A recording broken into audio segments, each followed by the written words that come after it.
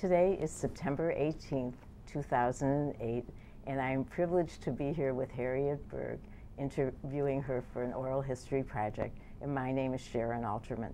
Harriet, do we have your permission to use the contents of this interview for the historic record? I would be honored. Oh, thank you. Great. Well, let's start at the very beginning and talk about your roots. Uh, you have had such a long history of involvement in this community, and I know that we should go back and talk about your family and how they got here and, and their because values. I think uh, there's no doubt about it that my home influenced my love of the arts and politics, that I always felt that these two things were very much a part of life. It wasn't something separate.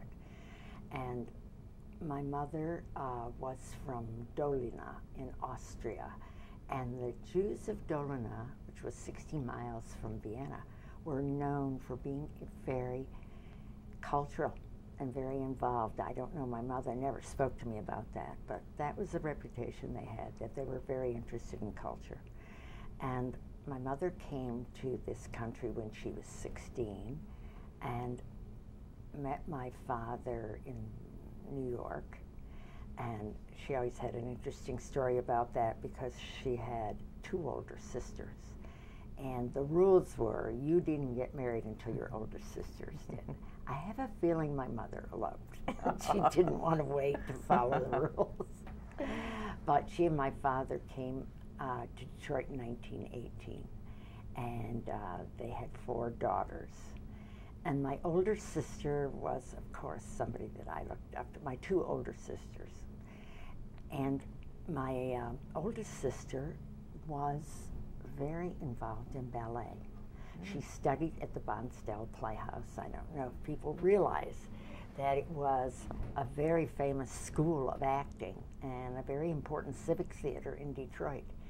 And there was a member of the Ballet Russe de Monte Carlo who taught there, and a young woman from Canada whose name was Olga Fricker. And my sister was 16, she was dancing in toe shoes, and my father even made a small studio for her in, uh, in the basement of our flat, a building that he owned on Calvert in the heart of the Jewish community near Dexter. And uh, I loved to watch my sister practice, and I would go down there and practice with her. And she was, she, I think she was really seriously considering a career. Olga Fricker was her absolute uh, goddess. She was a very beautiful dancer, a younger woman who assisted Madame Kazan from Ballet Russe.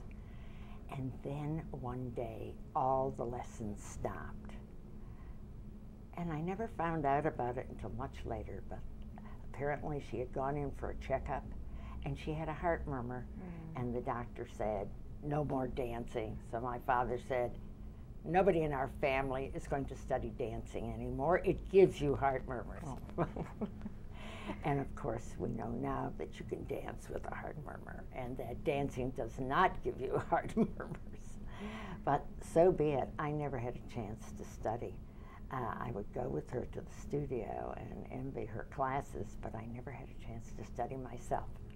Then, very luckily, all four of my, all three of my sisters and myself attended Roosevelt, Durfee, mm-hmm. and Central, those wonderful training schools, those where we got this uh, really what now you get in a private school education. We had music, we had auditorium. I will never forget my auditorium teacher in uh, elementary school, who was a wonderful teacher who introduced us to drama, and I think I played the role uh, of the of the rabbit in Alice in Wonderland, my first initiation, and we learned how to sing um, the Marseillaise. We did uh, the Three Bears in French, and this was in elementary school.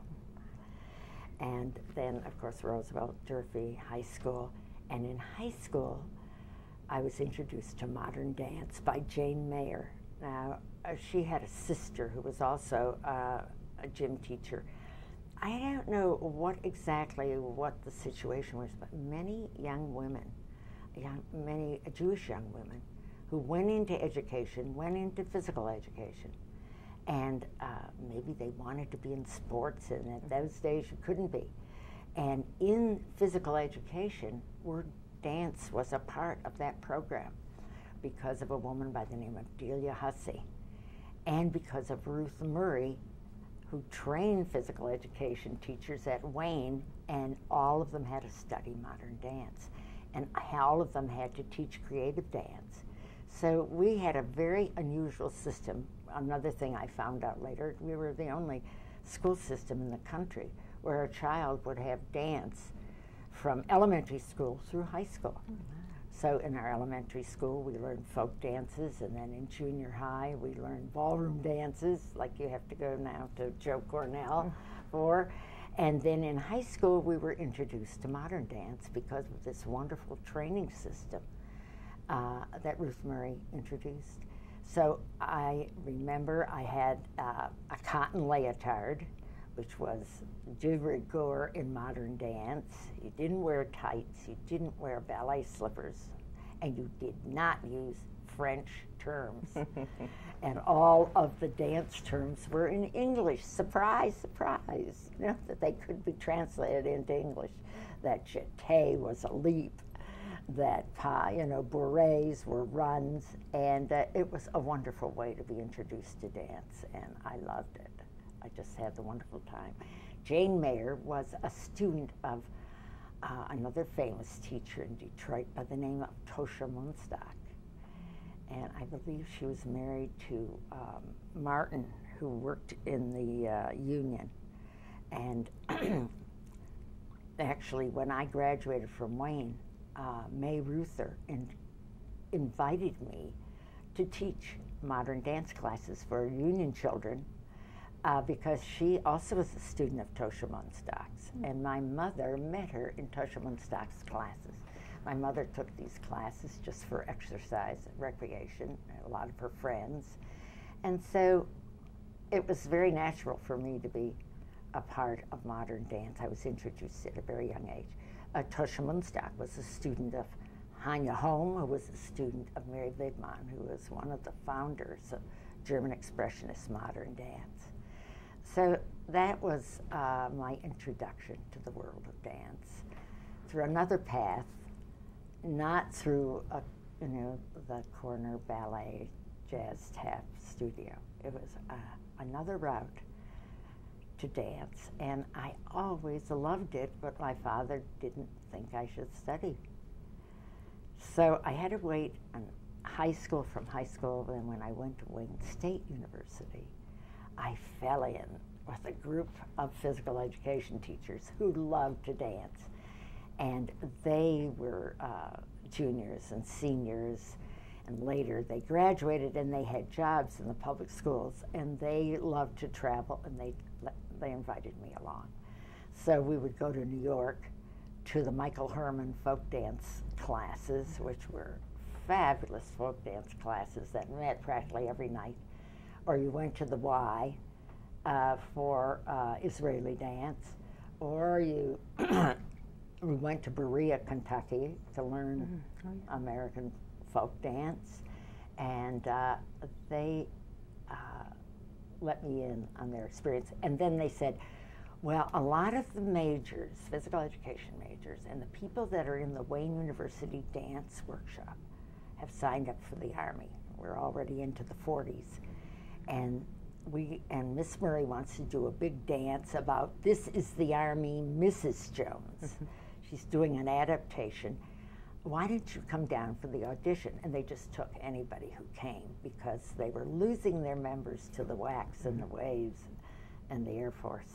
Uh, this was what was going on. And that's how I really started serious study of dance at Wayne State University uh, with Julia Sanford and Ruth Murray who was at that time nationally, internationally known for her work in children's dance education. And uh, she was also not only the head of physical education, the head of the dance at Wayne, which was a part of physical education, but she was also president of the Miles Poetry Club.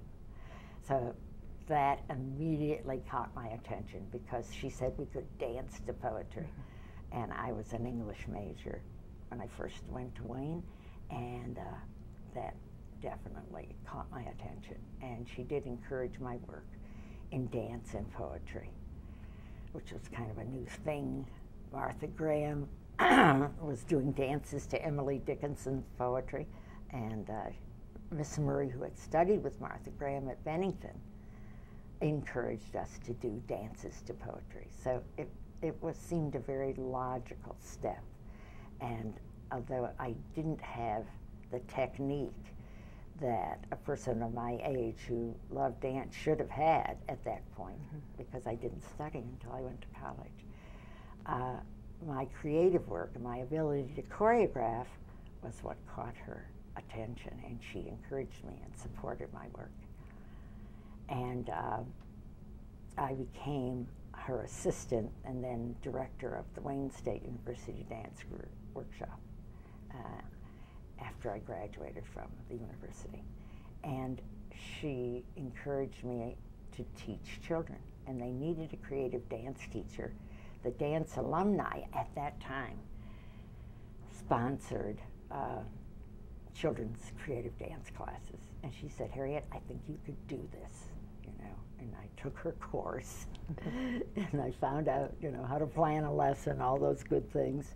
And then, of course, by then I was married, and my husband said, You can do this, you can do it, even though I would have diarrhea every Saturday morning. I suppose you have to go through that phase. And so uh, those were my first creative dance classes that I taught at the university under her supervision. And I feel I, I really worked with the best, and she steered me in the right direction, helped me with music and lesson plans, and of course, her book, Dance in Elementary Education, is like an encyclopedia of dance. Uh, education, projects for every age, music, poetry, stories. You know, you could open any page and say, This is the class I'm going to teach today. And I think we're going to take a moment to pause I'd like at, to, uh, in the 40s and 50s. I'd just like to go back to one thing. I know we started talking about your family, and I know that you have such a rich Jewish heritage. Would you talk a little bit about that and how, uh, the, those influences upon you yes, as a young person? Uh, uh, for some reason, I was the only one of my four sisters that attended Sunday school. Uh, my mother, I think my mother and father were very disappointed not to have a boy. Mm-hmm. My mother came from a very religious background. Her family, uh, her father had been a Hasidic rabbi in Europe who had a court. And mm-hmm. what my grandmother did was cook for the court, and he can, you know, and he, people would come to him all the time for advice and stay for dinner or at the holidays, he'd have a big holiday dinner so that people who had problems they wanted to solve. Uh, and I imagine there was singing and dancing. But when my grandfather came to America with his 11 children, uh, he was not in that same position. Mm-hmm. I, I, no one ever told us the story, and he just was a poor tailor. Mm-hmm. And I am so sorry that I never knew that story. Now, my grandmother was a very unusual woman in the sense that she was very tall for a Jewish woman in that period. Uh, she was, uh, you know, maybe five foot eleven, and she would come to our house from New York every for the Pesach, and we had to take out all these dishes and wash the dishes and have the whole, the whole mindset. And uh, she. Uh, so my mother had a very strong feeling for religion. My father was totally the opposite.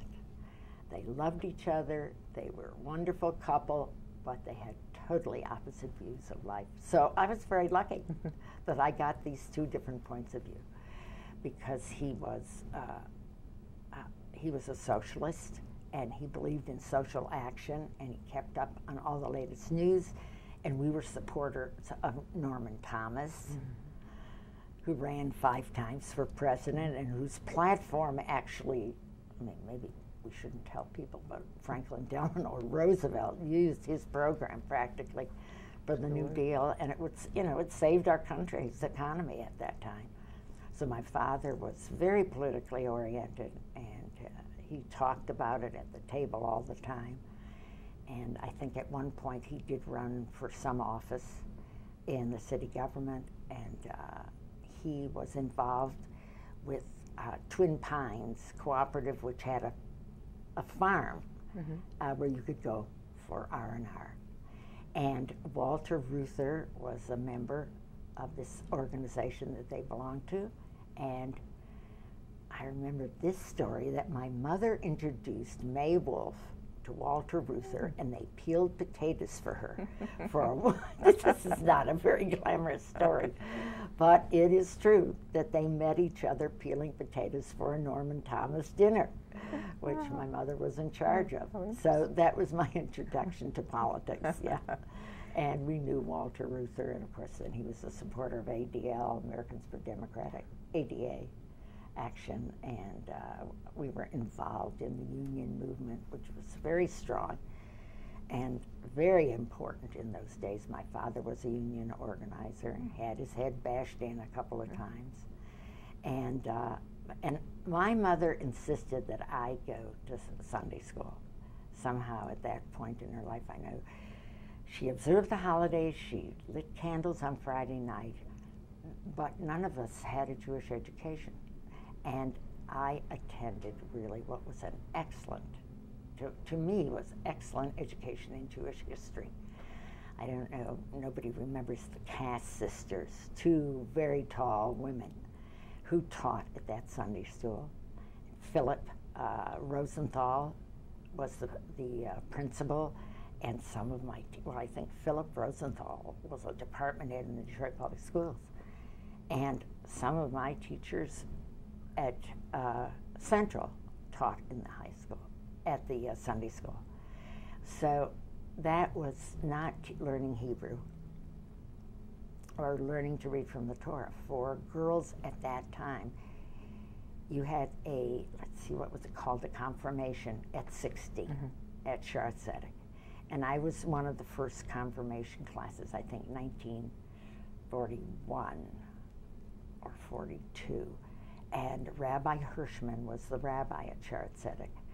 He was a brilliant scholar and a very well known rabbi, and he gave sermons on the holidays. Oh. With the finger, he taught you. But Rabbi Adler came to Shaare Zedek at that time, and he was our teacher in our confirmation class. And he was such a wonderful teacher, a wonderful man and I, I remember him as a very, it was a very wonderful experience. He made things very meaningful for us. And you had to write a story or you had to do research on a famous figure in uh, Jewish history.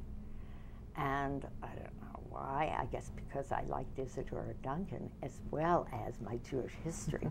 I chose Alexander the Great and his uh, entrance into Jerusalem and the fact that he said that the Jews could practice their religion, even though he, you know, uh, erected Greek statues, but he, he said that they could practice their own religion as well. So that, that was the, the figure in history that I wrote about, and I was, I always considered myself very blessed that I had that very solid foundation in Jewish history. And knew where we came from, you know, and it introduced me to the ancient history right up to the modern history of Israel. And of course, by the time uh, Israel was founded, I had been married a year, and our son was born four years later on Israel's Independence Day, oh, May 14th. Tell me about how uh, you're meeting with Irv. Uh, meeting Your with Irv. That also was the shirt, I'm sure. but uh, was taking a class in Shakespeare uh, from, oh, here was the story. I was working at Arthur Murray's, and we, you know, teaching dance at Arthur Murray's. They needed teachers during the war. Uh, because a lot of GIs or a lot of sar- you know some captains would come in with their men and they you know teach these guys how to dance because they look terrible at the USO or I want them to know what so I was teaching these classes at Arthur Murray's and, of course, teaching till 12 o'clock at night. You weren't supposed to go out with your students, but we would meet them at La Conga, which was, you know, now there's dozens of salsa places. That was the only place where you could do the rumba and the salsa, you know, and we'd go there to see the real thing, not Arthur Murray's interpretation, but the real thing. And all these bands would come from Havana. Oh, it was great. So, wouldn't you know, my Shakespeare class was nine o'clock in the morning, and uh, I would go there and sit in the back row. Tired. and fall asleep, except that the teacher, I don't think I had Hilberry. Irv had Hilberry, Miss Clarence Hilberry himself for, for Shakespeare. And I uh, remember his voice booming out because he was waking up all these students that were sleeping at 9 o'clock in the morning. Uh, but so I would be studying. I tried to catch up on my studying. I was sitting in one of the study halls at Wayne. And along comes this junior or senior. He asked me very casually. I think we had met through Ruth. You know, what was I doing? He said, "Oh, let me help you with that. I studied this with Clarence Hilberry. Let me help you with that. I can interpret. I can help you understand this because I was like, my head was reeling." So that was really my first meeting with him. And then uh, during the war, what I remember, he was in the hospital. He had been seriously wounded, and he was sent to a hospital in Tennessee. And uh, I would get a call, somebody would stick their head into my studio at Arthur Murray's and say, um, Miss Warrott, you have a call from Captain Berg in Tennessee. He wants to reserve a class for his men. And, you know, a call from a captain in the Army in those days. They even interrupted classes for that. so I would go, Yes, Captain Berg. I wasn't sure. Who is this Captain Berg? And they'd start many long years ago, a fellow named Robin Hood. And he and his buddies would sing the song, and I would, or, you know, pardon me, boys, at the Chattanooga choo choo. And I'd have to keep very serious face. Yes, Captain Berg, I will happy to. so uh, I, I saw right away he had a great sense of humor. How can you resist that? And he just was so much fun. He could make fun out of anything. And he still does. And he, um, then he saw me riding a bike.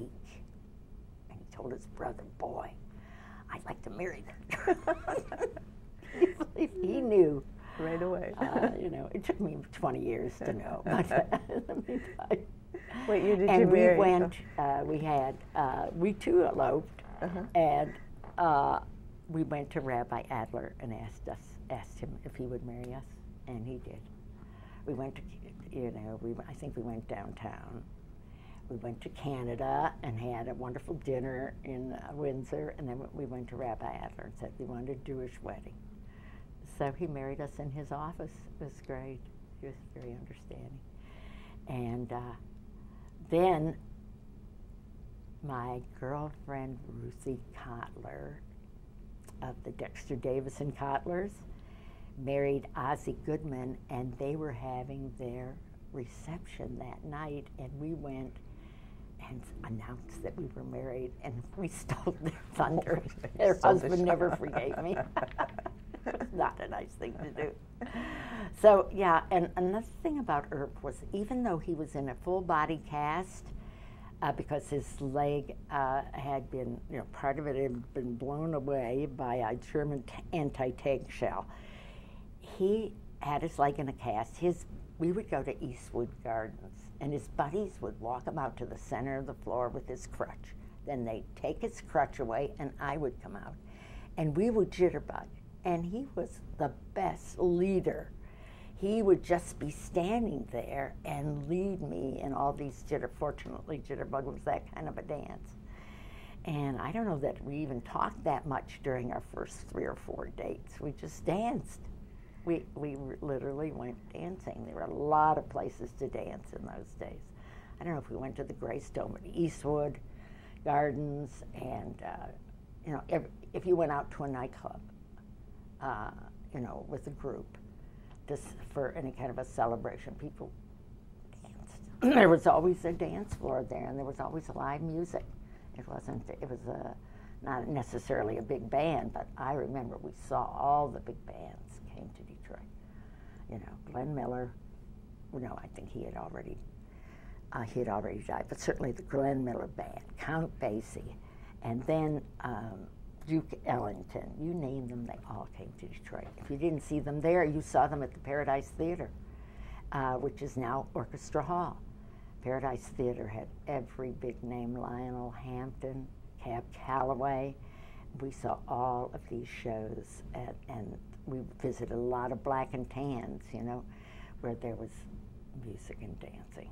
So the love of music and dance really brought us together and cemented our relationship. Then we found out about each other. And there's such a rich cultural life here too that you're right. describing. It was yes, the arts was, and yeah. music and dance. Uh, had, you know, for entertainment that you were, that you went to went dancing. There was a dance hall in every neighborhood in Detroit. Uh, Greystone Ballroom was downtown. The Vanity was over there near uh, Grosse Pointe. And uh, a, a, Detroit architect, as a matter of fact, built that. Charles Agree, I think. Right. And the Grande Ballroom, I think that was his too. Uh, so that there were, that's what you did. You went out dancing in a big ballroom with a big band playing the music. And you got a drink for a quarter, and it was great. So you were a great ballroom dancer, obviously, yeah. if you taught at Arthur, Arthur Murray. Right. And, but now let's go back to your days of Wayne because you spoke about Ruth Murray right. and, and your opportunities. The, a the pause world. that refreshes at right. this point, okay? Oh, sure. Let me get you. Uh, wait, what, what was I going to do at Wayne? Oh, yeah, the teaching. Harriet, let's talk about more about your days at Wayne. Mm-hmm. You, you Very mentioned Ruth Murray and, and, and your activities with children, but I know that you've had a long run yes. there. So uh, that was um, a very unusual education, I think. Ruth Murray, um, I later did research on her background, and she went to Columbia for her master's. She was a doctor, so she had probably had her PhD too, and was a student of John Dewey, mm. who had a profound effect on uh, education. And she believed in what was called at that time the workshop way of learning. In other words, the teacher was a mentor or a guide or somebody who facilitated, but that the students were very involved in their education, that you didn't sit at a lecture, but you participated, which now, of course, everybody's very familiar with, but this was on a very profound level. And we, um, she didn't, although she and Delia Hussey choreographed major pieces for our concerts. We gave at least two concerts a year. And then we traveled with the Poetry Club, or uh, we did lecture demonstrations about modern dance in the high schools. We toured uh, spreading the word. Now, Ruth Murray, as I said, had studied at Bennington College with the greats of modern dance. And I, again, I was very lucky to have been born into this, or to come into this circle when, what I would call the golden years of American modern dance, which had a profound influence on ballet. Uh, now has transformed ballet, but modern dance itself is not so well known. But in those days, everybody read John Martin. He was published in our local papers or read the Christian Science Monitor uh, for uh, Margaret Lloyd, who was another very important critic. And everybody knew about contemporary dance, and it was very prestigious to be a part of that. We had no big modern dance school in Detroit, so I had to go to New York if I wanted to study. And fortunately, I had this wonderful husband who was a sculptor and an artist and he understood what it was all about that you needed to have background, you needed training, you had to be associated with artists to be inspired. And so he would take care of our kids at uh, the Christmas holidays or the spring holidays, and I would go to New York to study with Jose Limon, Martha Graham, Merce Cunningham. Mm-hmm. I just was very, very lucky to have that. And I had a girlfriend who lived in New York, had an apartment, and she welcomed me to stay with her. In those days, you could just you could afford it. Now, young people can't afford it. It's such a different world. But you could go to New York on a low fare. I won't even tell you what it was. and I could stay with my friend and uh, study with these masters of modern dance, and that was tremendously inspiring. And so uh, when I was a member of the dance workshop, as well as director, I had to choreograph, and that's when I got my first taste at it. So, as music students, you study Beethoven and Mozart and Bach, and you play the music of the greats, and that's wonderful. But uh, in dance workshop background, I we didn't just study about this in dance history. We had an opportunity to do it ourselves because they, they believe that everybody is creative, everybody has that spark, and unlike George Balanchine, who said choreography, you have to be born knowing how to choreograph it's a craft. It's a craft like any other art, just as there are systems and methods of composing music or doing a painting composition. There are ways, there are rules of choreography. And, uh, and I studied with Doris Humphrey, who, was, who wrote the leading book on choreography, and with Louis Horst, who had been Martha Graham's teacher and her accompanist. And uh, he taught a very interesting course, which now is discredited.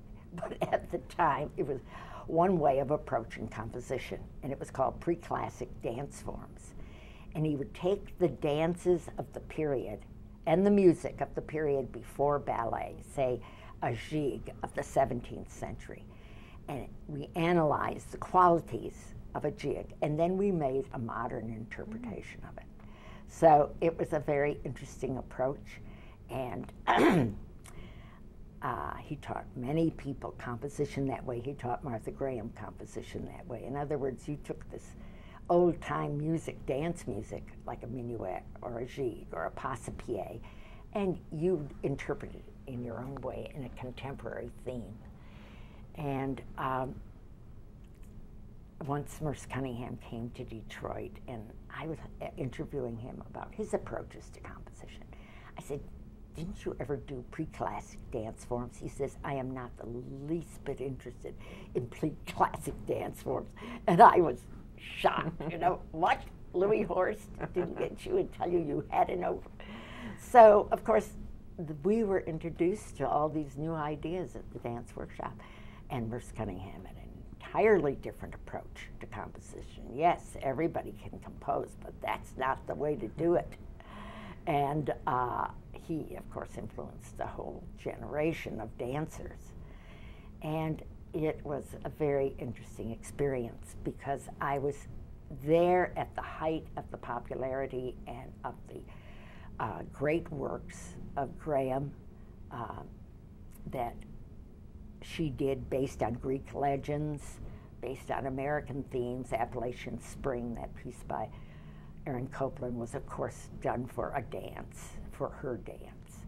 And um, then I, I, was there for the change. And then I studied with Merce Cunningham, and I studied with Louis Falco, who was a, a disciple of Jose Limon's, and uh, Lucas Hoving. And not only that, I wanted these people to come to Detroit.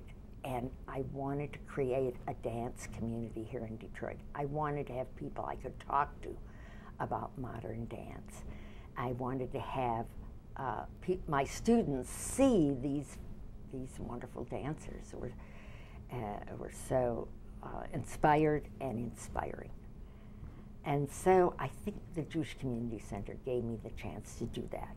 Now, I had a role model in the fact that Ruth Murray, Fanny Aronson, Tosha Munstock, all these wonderful ladies, Ann Zeronic, who later taught at Ann Golden, taught at Mumford and at Wayne, uh, had an, a, a, um, a council called the New Dance Council.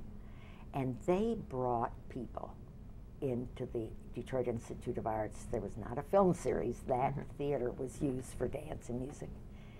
And then there was Edith Freeman, who had the who was the head of the music committee at the Detroit Institute of Arts, and she was called the Sol Hurok of Detroit because she brought in all these famous musicians and dancers and events to the DIA, and I was on her committee. Mm-hmm. And she was a very important woman in my life, very important woman. She was very cultured, and she loved music and dance, and she'd take a chance. That's where I first saw Jose Limon on the stage. uh, and so we had this committee that these women were very involved in, that they did the whole thing, you know, they booked the hall and they uh, uh, promoted it, did the promotion, sold the tickets. They were a wonderful group of people to be inspired by.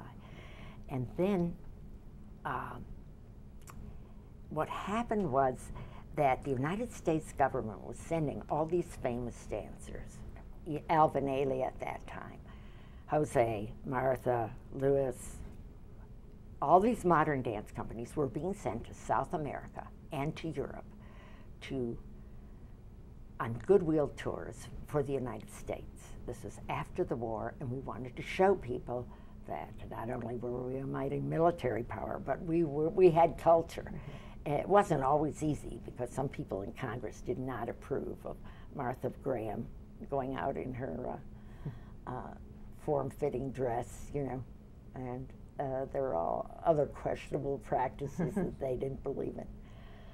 But somehow it was pushed through. There was a very strong National Endowment for the Arts. Then they sat down and said, you know, all these people have been to Europe, South America, to China, the Far and Near East, very important uh, concerts that influenced the dance of, of those countries. But you know, they haven't toured in the United States. They can't afford to. The people in the United States don't even haven't seen their work. And the National Endowment for an Art for the Arts did a dance touring residency program. And the Jewish Center was part of a consortium of every major cultural institution in this city. And I remember my, my immediate boss, my bosses are very important, I remember all of them at the Jewish Center, but was Chuck Wolf. And all of a sudden, he was volunteering to go to the airport to pick up Jose Limon. Mm-hmm because he was coming to Detroit and somebody had to go and pick him up, you know, and bring him uh, to the center because he was going to do a lecture demonstration at the center. So what this was about, Arthur Mitchell was also a part of that, Don Redlich, uh, Meredith Monk, all of these people were brought to the city not just to perform, but to do lectures in which people could ask them questions and meet them and uh, to do classes. That was the other important. Paul Taylor, I remember, he taught a class at the JCC, and afterwards he said, "He's the worst dancers I've ever seen. I'm never going to teach him." uh, he had very high standards, and he didn't like to teach beginners. And unfortunately, there was a mixture. we should have known better. Yeah, Paul Taylor. So he'd send his uh, students, but these people came to the center Arthur Mitchell, I remember his beautiful dancers, young people in high school. The first time we saw blacks performing ballet. And it was a wonderful experience. And to meet Arthur Mitchell and to see his dedication, he had, he could have had a fabulous career for many, many more years. But when Martin Luther King was assassinated, he, he, he went to George Balanchine and he said, I've got to do something for my people. I can't just have my own career here. And George helped him found the Dance Theater of Harlem. Mm. And they, we brought them here. The Detroit Metropolitan Dance Project is what it was called. And I was on that committee. And I'll never forget, Arthur Mitchell came on February 14th uh, in the early 70s. And that day it snowed, the biggest snow we had had oh, yes, all winter. February 14th. and we all were in the afternoon had a meeting. that we were going to lose our shirts on this because we had booked uh, Symphony Hall downtown, the Ford Symphony Hall. I said, How are we ever going to No go. Every seat was filled. People came out. The black community supported this. And uh, here was ballet being performed. He had a profound influence on Detroit, as did Alvin Ailey, of course. And I couldn't, I can't believe I look back. I had a class with Alvin. Only four people showed up. And we danced with Alvin Ailey, and he taught us part of, uh, his famous dance, you know, and uh, This was at the JCC. at Revelations, yes. And, uh, and that was the beginning of a friendship with, with uh, Alvin Ailey that I met. Later on, Ruth Murray, I was attending uh, also Connecticut College for Women at this time, which had the, which is in New London, Connecticut. After the war, or during the war, people felt they couldn't travel up to Vermont because of the gas situation, of course, from New York. And so they moved the American Dance Festival, where all the modern dancers came together at one time.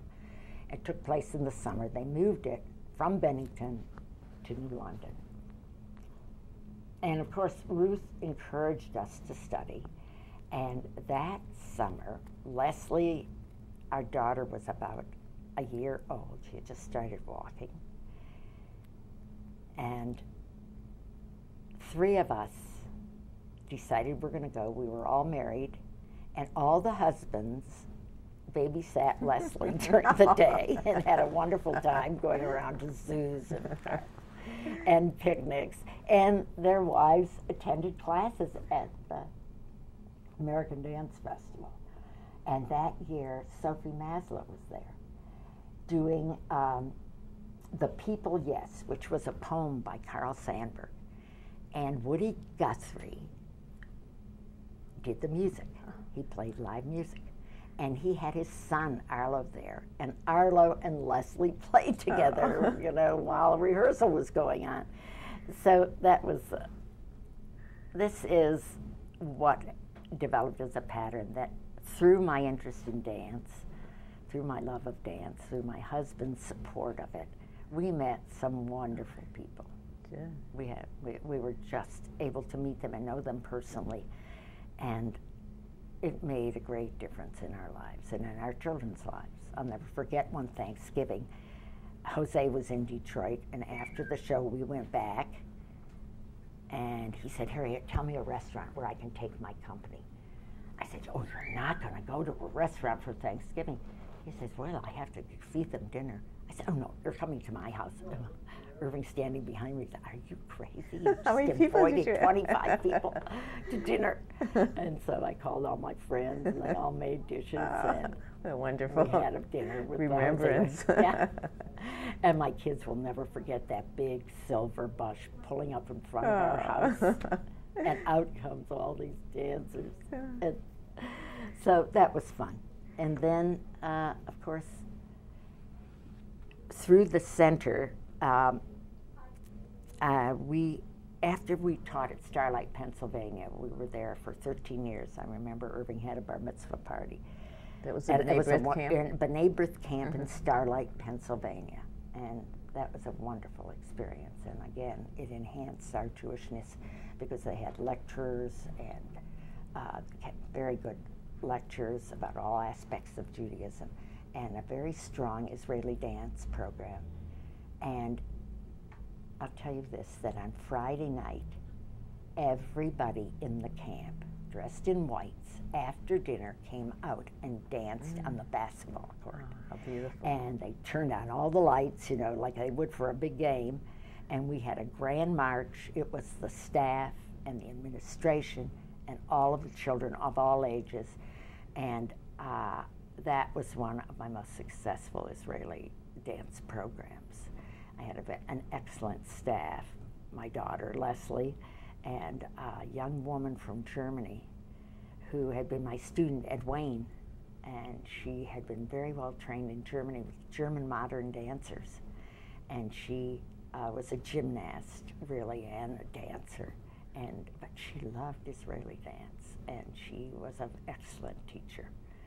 And we had this huge program, and it was just the most amazing experience. And these kids knew a repertory. Everybody, you know, would know half a dozen dances that, that everybody had been taught, so they could all come together and dance together. And uh, Israeli dance was very big in Detroit. I mean, there were about six or eight groups, Habonim, Hashomer, the youth uh, group from the synagogues, and uh, it's just uh, then uh, Hannah Stiebel, who was a sculptress when she came to Detroit. She was a physical education teacher, mm-hmm. and she taught me some of my first dances. Jerry Katz, who attended Habonim Camp and later became an assistant to Fred Berk, who was the father of Israeli dance in America. Jerry Katz, the endless supply of dances in his head, and he taught me a lot of dance. So I was able to keep up on the old, on the classical modern dances in that period and use them in Young Dancers Guild. Uh, because as soon as possible at the center, I was teaching children's classes and adult classes, but I felt a performing group was very important. That's what dance is all about. It is exercise, it is recreation, it is all those things, but mainly it is the performance. It is an art, and I wanted to share that. And so we formed Young Dancers Guild uh, at the JCC not long after I started there, which was in 1959. Is it going to be 50, 50 years, years, next yes. year? Mm. Makes my hair stand 50 years. And so uh, there were all these invitations, you know, when there was an Israeli event and they wanted somebody to dance. So the kids started off in the company doing Israeli dance and then expanded into a group very much like the Wayne Dance Group. Mm-hmm. I mean, that was my prototype. And that they did their own choreography and we did big shows for Hanukkah and for Purim. Uh, and uh, it was uh, really the only place in the city where young people could come and do modern dance. Were so I had Jewish? A, uh, no. So that we, we attracted a lot of people, uh, a certain amount of kids mm-hmm. who loved modern dance, wanted to have a chance to do it, went to the concerts. You know, we used to, when there was a concert, we'd sell 20, 40 tickets. They'd give us tell you how much the tickets cost. Don't. it was very easy to sell them. And we'd go, you know, and everybody wanted to go and see Merce Cunningham. Exposure. Yeah. And to be able to see these companies that they read about. So we had a Young Dancers Guild. I think I kept that up for uh, 1989. Then my husband said, This is it, no more teaching seven days a week. So Sunday was when Young Dancers Guild met. That was it. And then, of course, festival dancers grew out of my advanced modern dance class uh, at the center. And I was commissioned to do a piece um, for the Music Study Club of Detroit it was for a holiday. They wanted something that was included, was ecumenical. Okay, so I chose Leonard Bernstein's Chichester Psalms. And that was a piece for about nine women. And that was in our repertory for, for about five years because we toured to a lot of churches and synagogues in the beginning, but that was the piece that started us. And then uh, Sophie Maslow came to town, as I said, doing the village. I knew, a lot of people don't realize that that was the inspiration for Fiddler on the Roof. And she did this dance, the village I knew, using Detroit dancers. That's where I first met her when she came to. And the people in that group wanted to go on dancing, and then a lot of them were in my classes at the JCC. So that was the beginning. And Fanny had had a group too. So there was a tradition for an adult performing group. Fanny had a group much earlier. yes, much earlier. Yeah, and uh, then uh, Reva Usher was in that, and I think Sylvia Zukin of that generation. And so we started. The festival dancers started, and then Charles Weidman came. I brought Charles Weidman. I thought I, I, I just loved his work, and his sense of humor. I wanted something that had humor. And he did a dance called Mostly About Women, which was about women in the, in the, you know, uh, when they first got the vote, when they first learned how to drive. and I think there was a scene of a woman performing the first operation. He was great comic movement. And uh, Charles Weidman come in and then he said, well, what do you, he says, I want to teach you another dance by Doris Humphrey. He says, brought me all the way here. One dance isn't enough. I said, Charles, we don't have any more time. He said, Well, what do you do at one o'clock in the morning? he was ready to have rehearsals at one. But he insisted on teaching this beautiful suite of Brahms waltzes, which he dedicated to Doris Humphrey and using themes from her dances because she he, they were both pioneers of modern dance. A wonderful piece. We were exhausted, but we had that in our repertory. So we had built up a repertory of dances, and that was the beginning of Festival Dancers, which is still Amazing. Yeah. And we we had uh, we brought back Sophie Maslow to do a wonderful piece on the Holocaust. She she was a genius.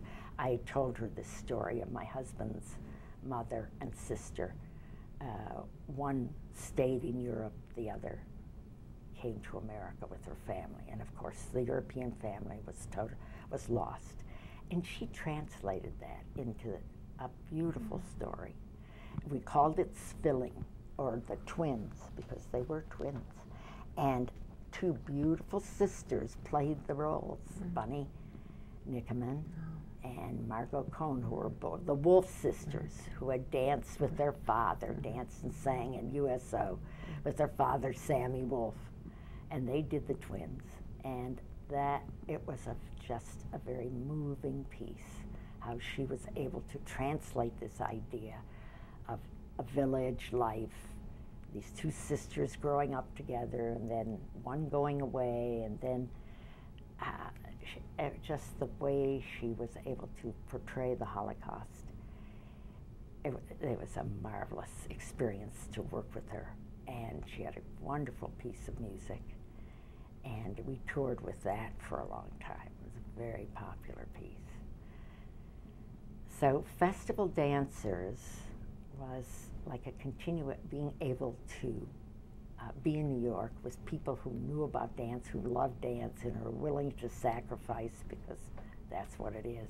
I, know, I said festival dancers are just more organized than everybody else. Mm-hmm. They all have families, they all have to shop, they all have husbands they have to please, but they somehow manage to find time for rehearsals. And we used to meet twice a week. We used to meet, have technique class, then our rehearsals and our composition classes. Nowadays, young women just don't have the time for it. And uh, I'm going to keep festival dancers going. I'm not ready to give up quite yet, but I think I'm going to have to eliminate technique. And then we would just we'll just meet for a rehearsal so that people can just rehearse the dances for programs. I'm always getting invitations uh, to put on a program. We've been invited our latest invitation is the, uh, the League of Jewish uh, Women of, uh, what is it, the, the organization, help me, uh, conservative. Jewish, a conservative, the Jewish Women's Conservative League. League yeah. for Conservative Judaism. Yeah. yeah, that's it. And uh, they're going to have a conference here in Detroit. Oh, that's right. At the Marriott, yeah. I believe, or Hyatt. A national conference. They're having a national conference, and they asked us mm-hmm. to do our, uh, our, a very popular program, Dances of Our Heritage, which is Eastern European, Yemenite, and Israeli dance. I mean, people don't, I think, have forgotten what a rich heritage we have that represents many aspects of Jewish life. And uh, we probably will do it in conjunction with the Israeli dance that meets on Wednesday night and include them too. So, uh, because uh, this summer I had a very exciting experience of bringing one of Israel's leading choreographers, Shmulik Golavi, and Gov Ari, Gov Ari, excuse me, and uh, I, we had met him in Israel. Irv and I had gone on a Israeli tour that was all dance. And he was one of the leaders. And so he brought him to Detroit. And he choreographed a dance for 40 people, young and old. I told him, I don't care what you do, but it has to have all ages in it. And uh, he did, and we presented it at the fair, you know, at the 60th anniversary fair. So that was, uh, it was like, I saw the plans, excuse me, Federation, but you cannot do a 60th anniversary without Israeli dance. I said, there's no dance here. And I felt it was my personal responsibility to make sure that Israeli dance was a part of it. And it was. It was a wonderful experience working with Shmuley. And uh, the tradition of Israeli dance goes on in Israel, and we have to help keep it alive here. Uh, we've had uh, Fred Berk came for one of our family dance weekends. He's the grandfather, I guess, of modern dance. And Judith Brin Ingber. And I just found out that she wrote a book on Jewish dance, which covers all these things that I've been lecturing about. It's going to be published by the Wayne University Press. Have you year. ever written a book? Judith Brin, no, No. I haven't. I'd like Judith to do it. and uh, then we had Hadassah Badoch, who is the second lead uh, dancer in Inbal, which is a Yemenite company in Israel. Now, Hadassah was very interesting, very dear friend of mine. Her husband was a doctor from England, and he had been in the British Army when the Yemenite Jews were coming from Yemen. They walked literally from Yemen to Israel. And he was at the border checking. Uh, they had set up a station to check people for diseases, you know, and, and to spray them down when they came in because they were in a horrible condition. And Hadassah, who was a Yemenite who came to Israel that way, she and her family walked. Hmm. She was just a young girl of maybe 10 or 11. And she said that they probably were in this hospital way hmm. station at the same time. Hmm. This Aidan Coburn, whose children were in my Young Dancers Guild, who was a doctor in the British Army, and looking after immigrants who were walking from Yemen. And they met at uh, at Camp Tamarack at a Oh, family dance weekend. Nice. That was just amazing. And So- then we had Margalit, who was the lead dancer, and she set a number of pieces for festival dancers. Uh, absolutely incredible performer from Yemen who sang, who danced, who told stories, who played the drum. And when we had her up at camp uh, for a family dance weekend, so I said, well, the children are going to be at this time, and then we're having a class for boys and fathers at this time, and then the dancers uh, who are experienced at this time. And she says, What are you doing? She says, Put them all together. I said, You're going to teach boys of 12 and 13 and their fathers and put them all together, Harriet. That's the way we want them all together. That's the way it has to be for Yemenite dance. And by golly, I think we had 125 people. And she taught them all at the same time and got every single woman involved and got them singing and interested in the Yemenite drum. And uh, she was an amazing teacher, but she had this concept of dance being for everyone and everybody just do it together. And if you don't know it, you'll pick it up, you know? Uh, and uh, it's in you. We just need to release it. You were talking about the center. I know Irving uh, Shaw was such an important man. Irving Trump, yes. Ir- Irving. Uh, well, I think why was I, why am I still at the Jewish Community Center for 50 years? You know, I've had other opportunities. I've done other things. Uh, I have another company that does historical dance. I've lectured. Uh, now that I've become historical and antique, I've become very interested in dances of 16th, 17th, 18th century. And uh, actually, we can do those dances because people wrote them down. That goes along with the music, the directions. But why have I been there? And it's because, uh, first of all, of the wonderful executive directors who were so supportive, who cared, al- although they were all yeah, they were all social workers. Mm-hmm. They all knew how the importance of the arts. And they wanted the arts at the Jewish Center. And then they had the membership that was totally supportive of it. And you know, people who founded JPI, a lot of them were physical education teachers, dance teachers uh, from the public school system. Mm-hmm. And they included dance in JPI curriculum. They have an Israeli dance teacher to this day. And Erwin Shaw was, he'd come down and watch the classes, you know, and he would be thrilled. He'd let us know if anybody needed dancers. Oh, well, I want you to do this, you know, you have to do this. And he knew Irv from Fresh Air Camp.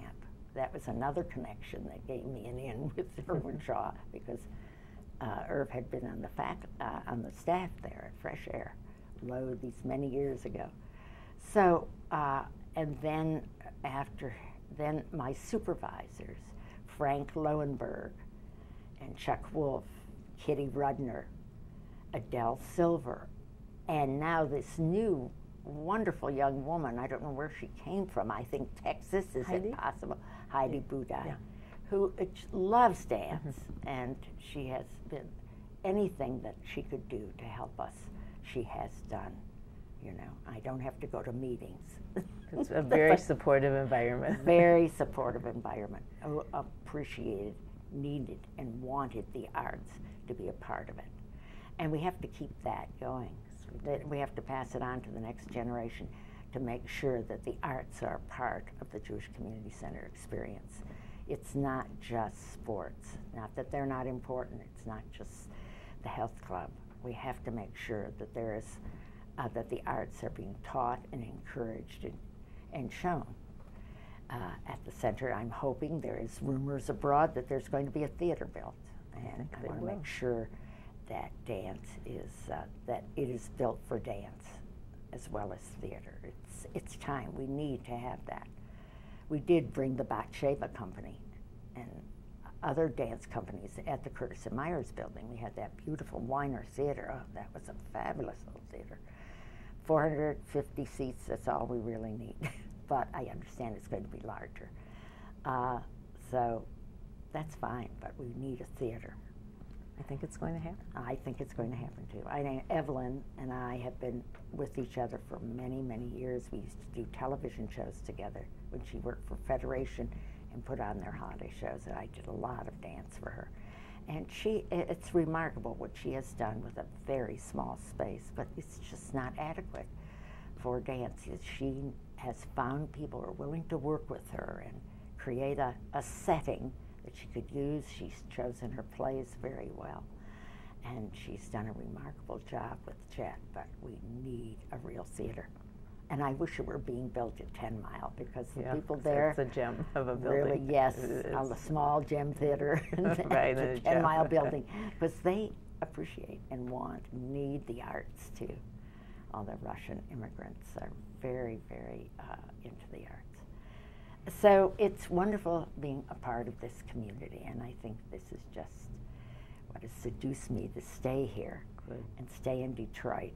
And Detroit has always had an underground art movement. I mean, it may look like the sports capital of the world, and now it is, I guess. If we could only get a winning team, oh, please. but uh, the arts have always been important here look, they built Orchestra Hall for Ossip Gabrilowitsch, right? He said, I'm not going to stay here unless you have a decent hall for me to play in. And they built Orchestra Hall, one of the finest acoustical auditoriums in the country.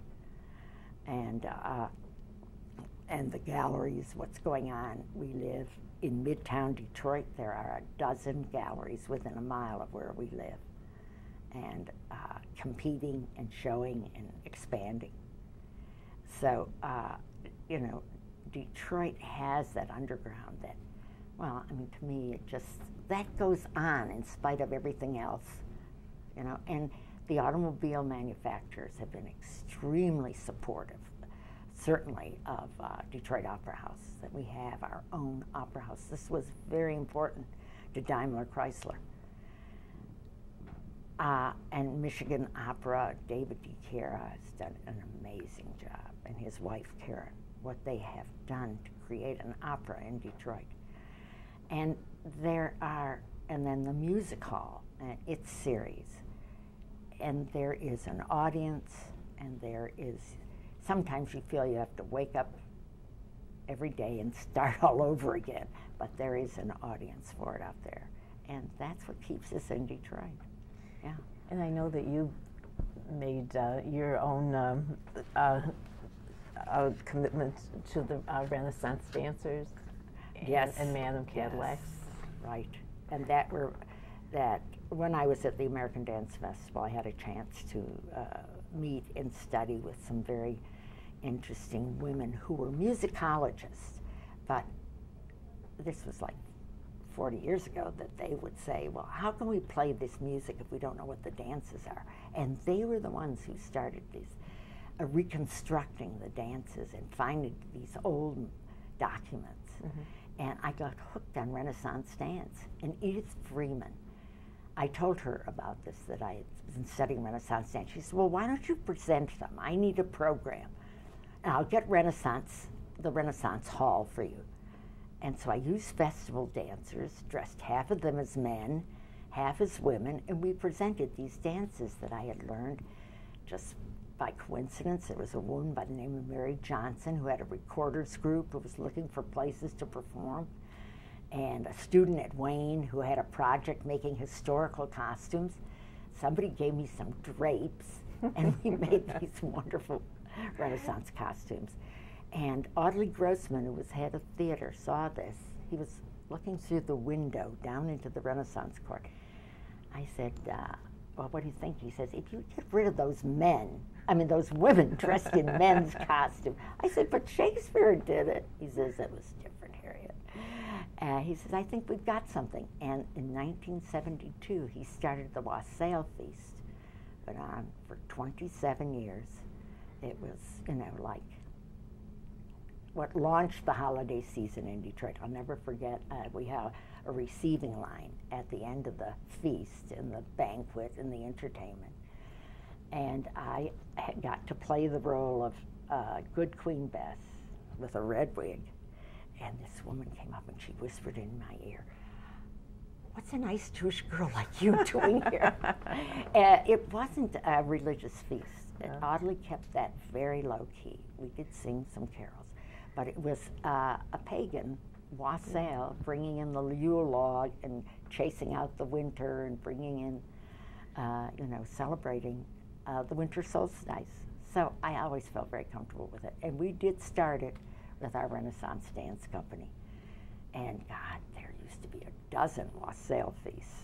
We used to perform a half a dozen times. And we did that till uh, they started the renovations at the museum. And then the Madame Cadillac Dance Theater, I thought, well, if I can do 16th century dance, it'll be a cinch to find out about 17th century. It's a whole hundred years. Of, but that wasn't that easy. Uh, because I went to the Burton Historical Collection. I said, I'd like a book on dancing and recreation at Fort Pontchartrain. Because I knew the French, like, he says, Nothing.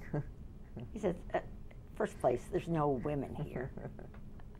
well, that really got my goat. I was a feminist. Esther Broner made me into a feminist. I said, no women here.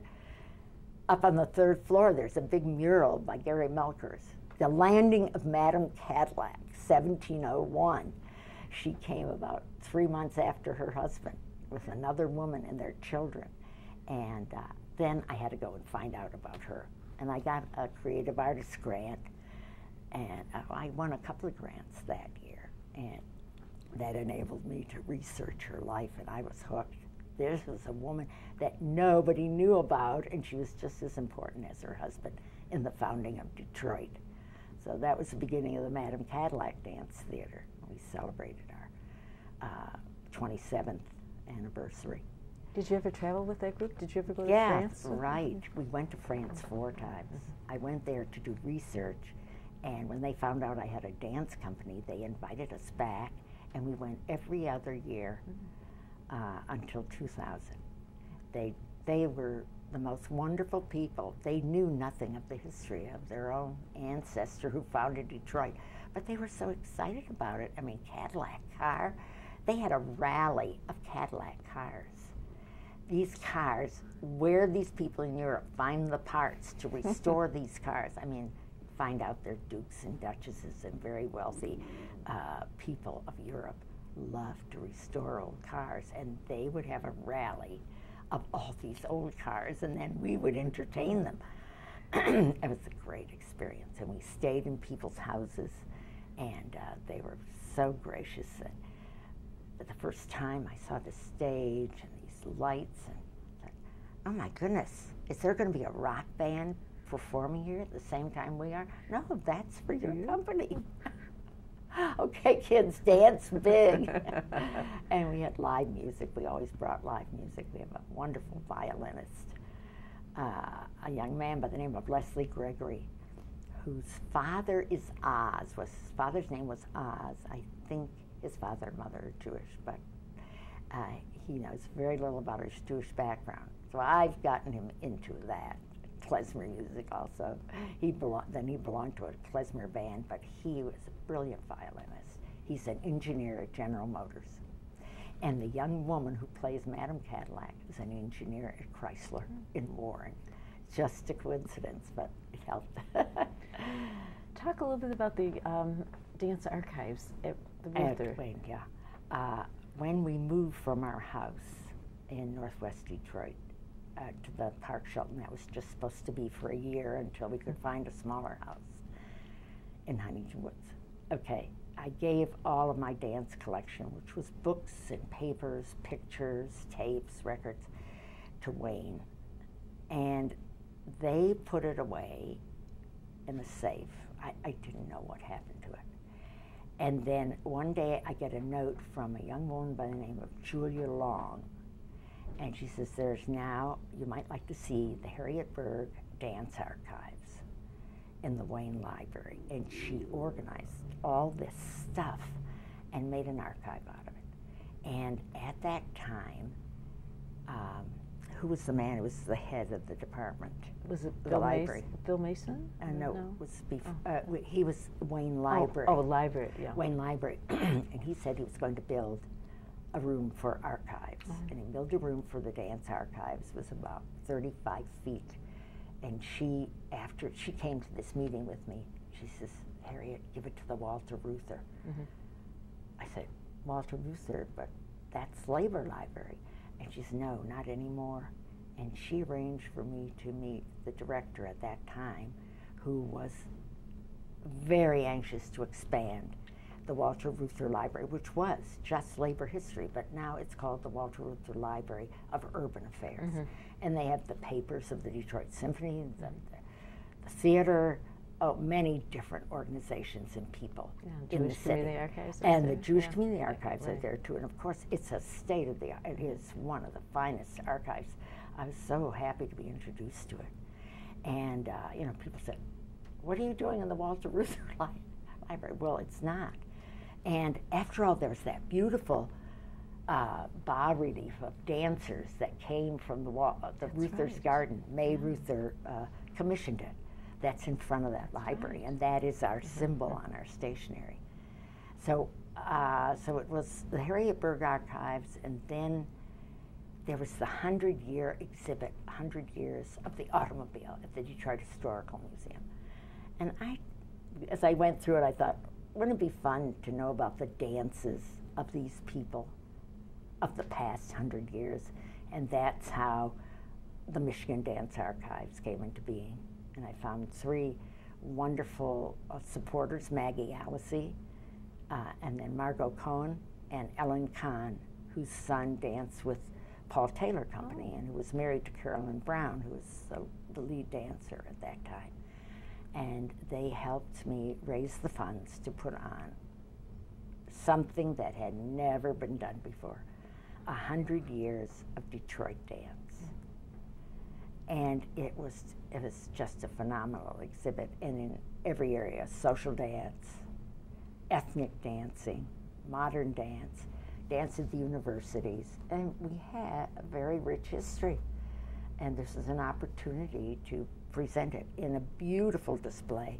A woman by the name of Marge Long, who I found out later was a dancer before she became a curator. And she loved this exhibit, and it was her last exhibit. She died, I think, of, of cancer, and she hadn't told people. She worked on this exhibit, you know. Well, we still have it. And it tours, you know, it tours throughout the state. Colleges will borrow it for exhibit. And uh, right now, the director is. Um, of the Reuther? No, at the Reuther is Smith, Mike, Mike, Mike, Smith. Mike Smith.